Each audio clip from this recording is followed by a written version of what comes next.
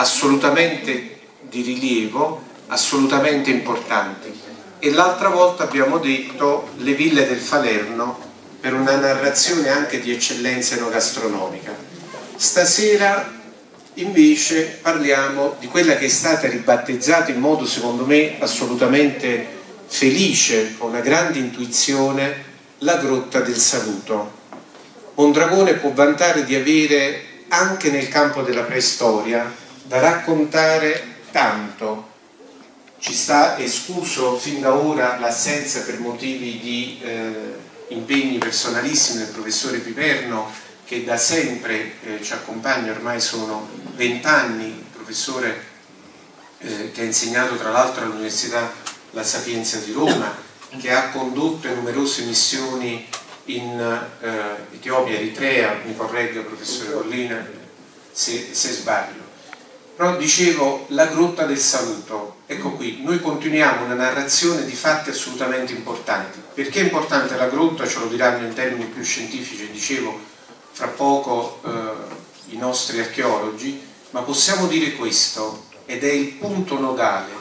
A Mondragone c'è stato il passaggio di consegna, se possiamo dire così, dall'uomo di Neanderthal all'uomo sapiens.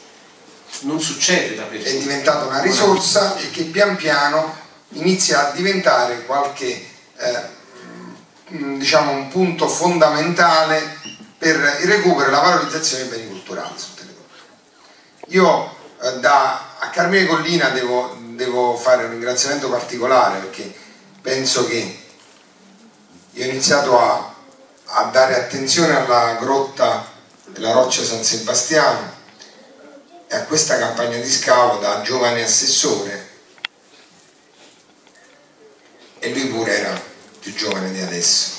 Oggi è professore all'Università La Sapienza e prima era ricercatore, era con il, con il professore Piperno e, ed era un poco il, il mio eh, riferimento per le domande perché io giovanissimo avevo il timore reverenziale nei confronti del professore Piverno anche per chiedere, no? quando andavo con Nazzaro, con Luigi eh, per chiedere dei chiarimenti rispetto a una cosa che vedevo negli scavi invece con Carmine Collina avevo un po' più di confidenza perché lo vedevo più giovane e quindi dico a lui mi auguro di non aver fatto una gaffa quindi l'ho con simpatia oggi lo saluto da esimio professore, docente e che è cresciuto, mi auguro, eh, didatticamente e professionalmente anche grazie a questa città e a quello che questa comunità ha voluto consegnare nelle sue mani, così come il nostro direttore Luigi Grimaco ha voluto che questa campagna di scavo, ha voluto condividere con noi che questa campagna di scavo andasse avanti e potesse eh, eh, mettere in luce dei risultati. Diciamoci la verità, la preistoria non è... Ecco, l'altra volta io facevo un esempio, per chi c'era sabato scorso, eh, aver iniziato a finanziare una campagna di scavo all'età romana è stato un momento di grande gioia per me in qualità di amministratore perché l'età romana su questo territorio, dicevamo, era un poco inviolabile, no? Altro effetto, sono... la preistoria eh, un, con il permesso di Carmine eh, la, è, un, è, meno bella da vedere soprattutto quando si inizia no? E, e questo allora fa capire ancora di più l'aspetto l'importanza scientifica della campagna.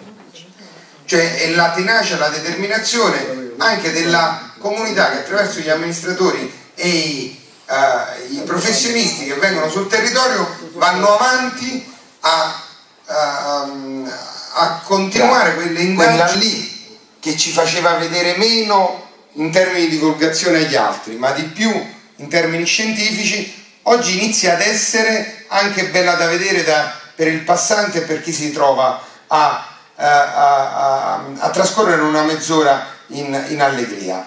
Questo perché si è lavorato parecchio, si è riuscito grazie anche ai professionisti che stasera abbiamo qui seduti al tavolo, a, a costruire um, dei percorsi comunicativi che ci consentono di uh, mettere insieme l'indagine scientifica degli ultimi 15 anni.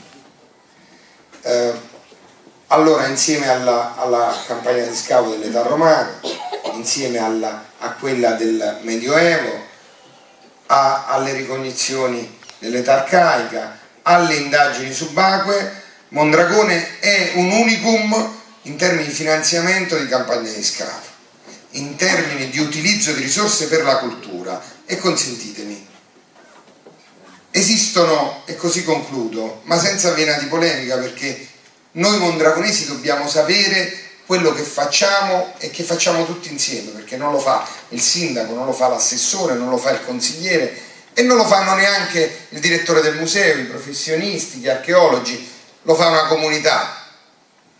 Qualche tempo fa eh, si è voluto riportare un giudizio sugli ultimi anni eh, dell'amministrazione comunale a Mondragone riprendendo dei dati che si possono ritrovare su internet facilmente. E questo è un grande guaio, consentitemi questa digressione, perché molto spesso eh, internet, l'accessibilità a internet da parte mia che non comprendo ciò a cui sto accedendo mi fa sbagliare ancora di più eh, di quello che avrei potuto fare ieri senza conoscere quei dati.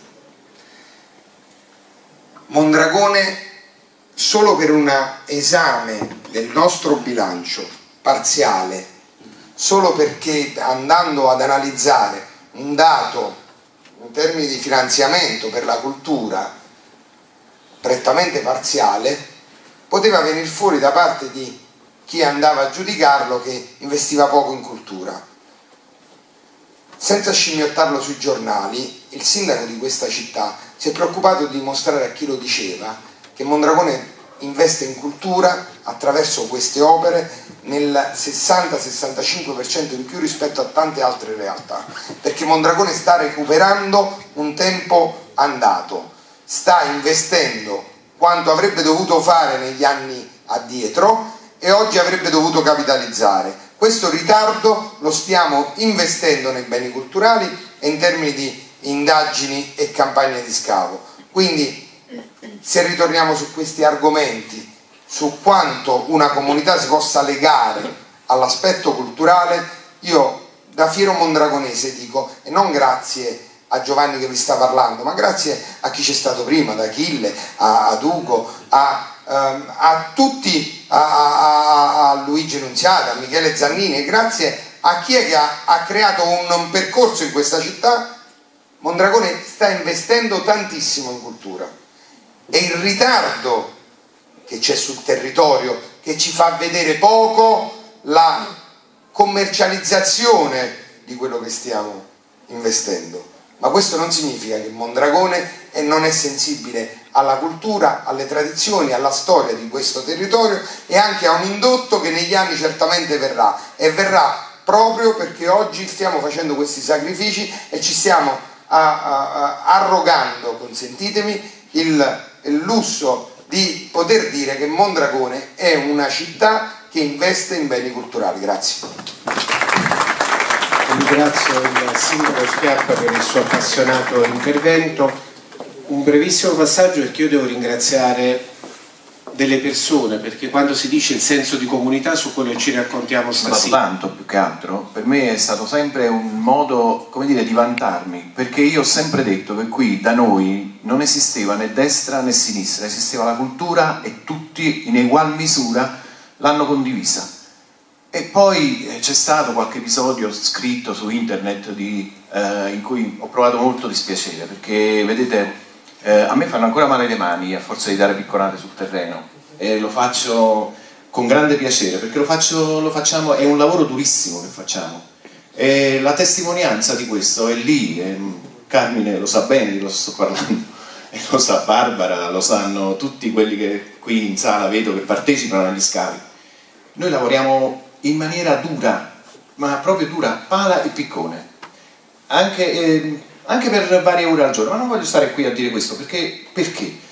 Perché abbiamo un unicum, abbiamo un tesoro, ha così bene detto il sindaco un attimo fa, abbiamo un tesoro inestimabile ed è un tesoro che deve essere valorizzato tutti i giorni, anche con il pensiero, non può essere assolutamente trascurato, questo lo dico a tutti, lo dico a, a voi docenti che avete il compito difficile di insegnare ai ragazzi, di comunicare queste cose, lo dico a tutti. Pensate che le scoperte nella grotta di San Sebastiano sono un unicum, certo, diamine, l'uomo di Neanderthal a Mondragone, un crocevia, anche questo di, per, per, quello che è stata la preistoria, cioè il passaggio tra, tra un sistema culturale a quello del sapiens, e poi che siamo noi poi sapiens sapiens, è, è straordinario. Altro unicum, bene, le ville del Falerno. Il Falerno era un fenomeno che esisteva solo in questo territorio.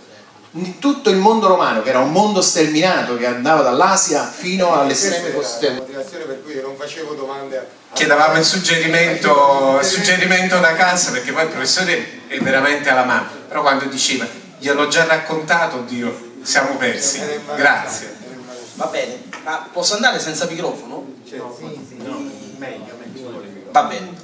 Allora, io eh, innanzitutto porto, eh, sì, forse sì, innanzitutto porto il saluto del professore Di Perno che, come vedrete, è l'anima di tutto questo intervento dopo le parole del sindaco e dopo le parole di Luigi, perché per me stasera è la dimostrazione che è possibile un'archeologia di comunità, è una delle cose su cui spesso noi archeologi discutiamo.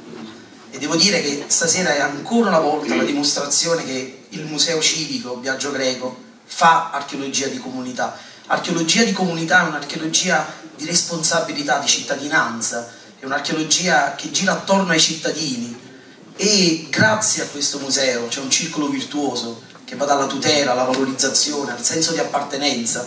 Tutti siamo mondragonesi quando veniamo qua, eh, questa è la verità.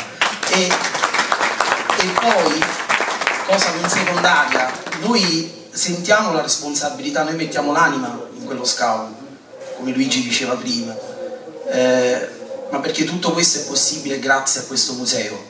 Quando io vado a fare le conferenze e vado a lavorare con i miei colleghi preistorici, che, non, che sono, diciamo, non sono sempre divertenti come il professore Piperno, porto sempre a modello le buone pratiche che stiamo realizzando al Museo Civico eh, Viaggio Greco di Mondragone perché vi assicuro che uno è un, è un gioiello oggi in Italia. Per vedere quello che succede qua dovete andare in Francia, dovete andare in Inghilterra. E comunque eh, eh, fatta questa premessa vado rapidamente perché in teoria avevamo strutturato un intervento un po' più diciamo accademico un po' più noioso. Però io andrò di fretta sulle mie slide perché ho premura di farvi vedere il documentario che in questi anni abbiamo, eh, abbiamo realizzato e questo documentario è il ponte tra la scienza e il pubblico ed è il ponte che farà amare ancora di più questi luoghi, farà amare ancora di più questa terra, perciò voglio che poi in anteprima voi possiate godervelo per intero alla fine dell'intervento. E torno eh, al, al saluto che diceva il dottor Nazzaro, dal Neanderthal al Sapiens.